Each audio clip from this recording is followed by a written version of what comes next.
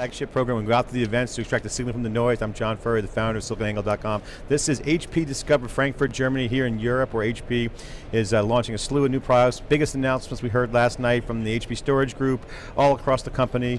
Uh, we'll be covering it live all week. In-depth interviews, wall-to-wall -wall coverage. Again, this is siliconangle.com. Go there for all the news, all the analysis, all the breaking news.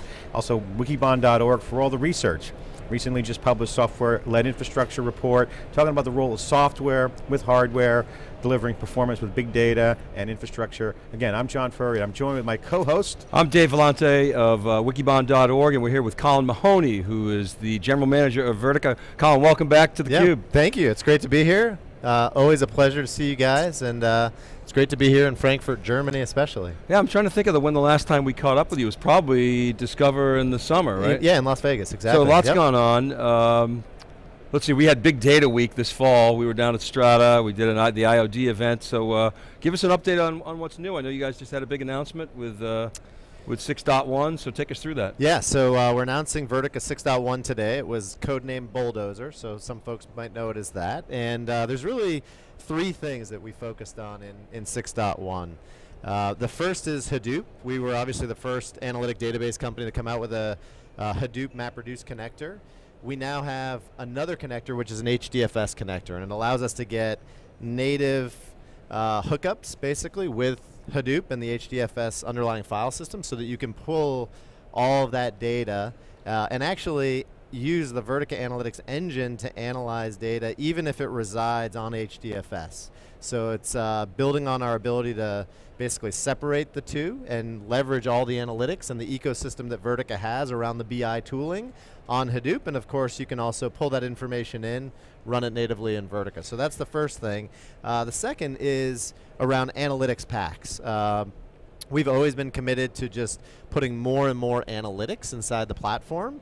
For our customers who buy our platform, our promise is that we will continue to deliver more and more innovation in what they can do on the platform. And so uh, in Vertica 6, we announced that we were including R, the statistical language, and, and massively parallelizing that on our platform. And what we've done is we've added to that and built these packs on top of uh, on top of R to make a lot of the sort of analytics that people do that much easier in terms of calling the functions. And then finally, uh, it's around cloud, and we've enhanced our cloud capabilities in Vertica with some new uh, packages for things like AMI on Amazon, et cetera, so that uh, we make it a lot easier for customers to deploy on-prem um, or in the cloud. And then also related to that on the flexibility, we have new app systems. There's a new app system from our brothers here at HP for Vertica. Uh, very exciting based on the, the new DL380 Gen 8.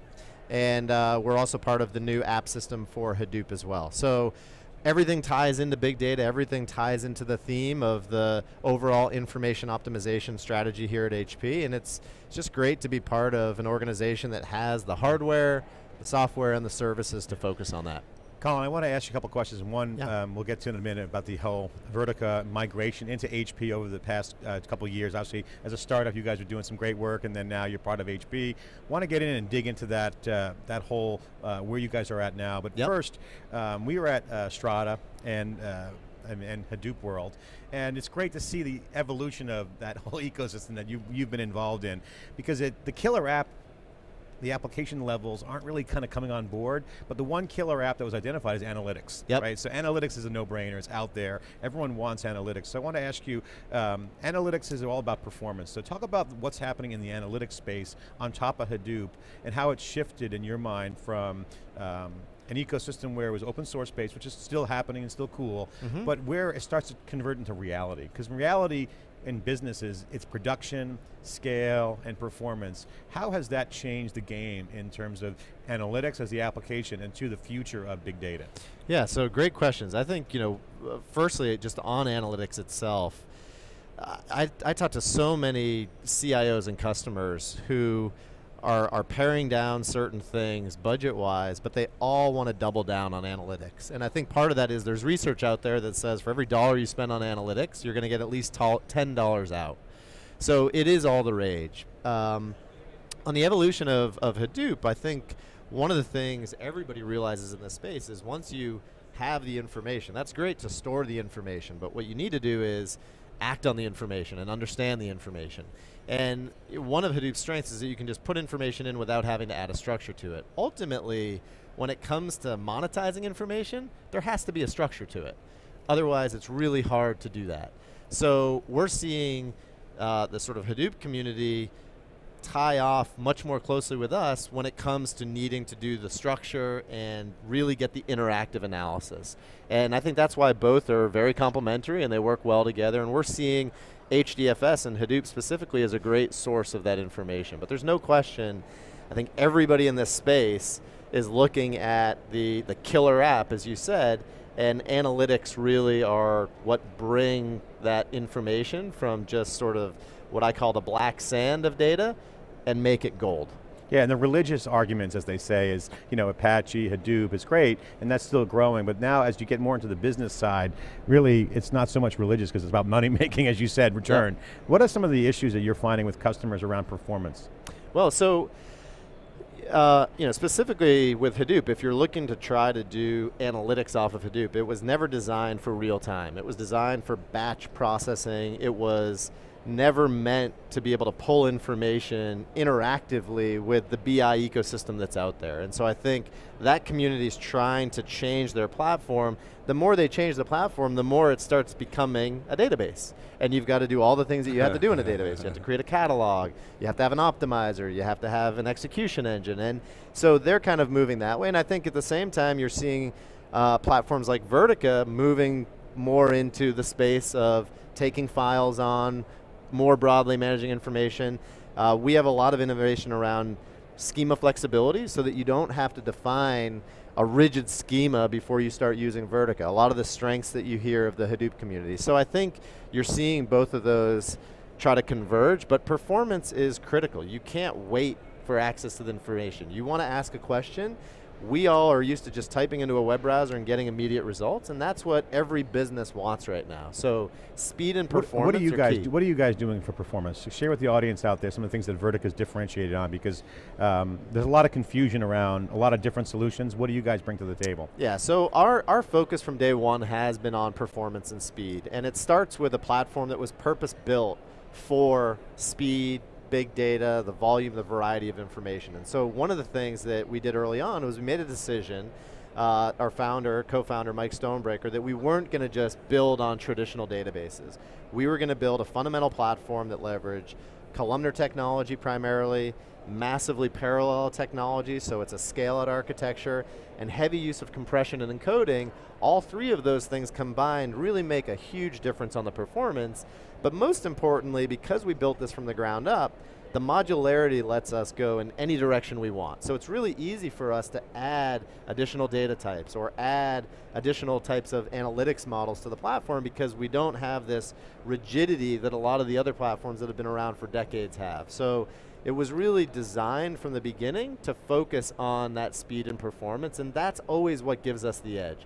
Ease of use is really important, the simplicity is important, but you always have to have the speed. And so we've added more of that in this release as well on top of those other items. And your HDFS connector you talked about, uh, I'm, I'm inferring from what you said that's more native, more really trying to bring real time to big data. Is that, am I understanding that correctly? It is, and so the, the whole goal there is to basically get right at that information so that you can just connect uh, as a local connection and massively parallelize that connection between Hadoop clusters and Vertica clusters and make that information passing what that much easier. So it has oh. intelligence in it. It starts to know where data is laid out on, on obviously Vertica, but also Hadoop.